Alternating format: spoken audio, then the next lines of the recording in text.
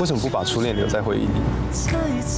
就算你是他青春里的遗憾，莫雷也已经不是以前那个莫雷。你可以带着你的吉他陪我弹夜曲吗？你后来吉他弹的怎么样？原来我已经很习惯自己一个人。每周日晚间八点到十点，东森戏剧台永德生计高敏丽益生菌，不爱爱。